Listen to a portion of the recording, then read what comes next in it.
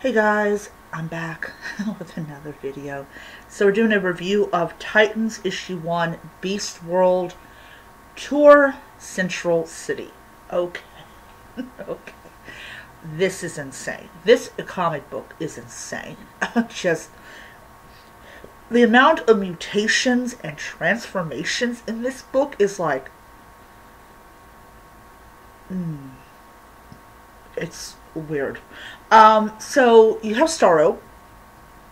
Now Starro is a there's so many there are there are like issues like they have Starro in it. Like Starro was in uh, The Adventures of Superman. Starro was in Batman Beyond, The Call.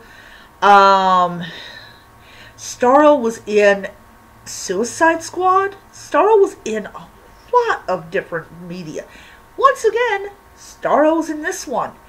And he's turning people into animals, like insects and rodents and cats and dogs and giraffes and whatever. And um, alligators. Definitely alligators. You, you, can't have you can't have a mirage of animals without including alligators. So, this is supposed to be part of Amanda Waller's Revenge. Now, for people that are a little bit confused, and I don't blame you, Amanda, the Amanda Waller that's in this series is the Amanda Waller from Earth 3, which is the crime syndicate um, Earth. And her goal is to be a dictator. That's basically what that's basically when you talk about the crime syndicate not everybody on that earth is bad but they're controlled and dictated by really bad people um i'll give you some um yeah so, um,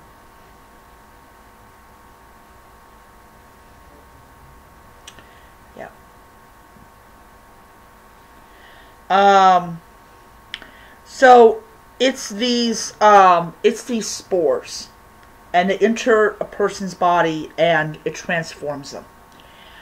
Um,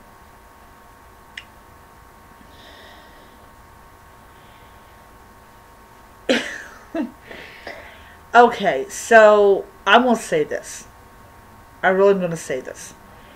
This was a this was a different comic. This was a different comic. And I will say different is all is not always a bad thing. And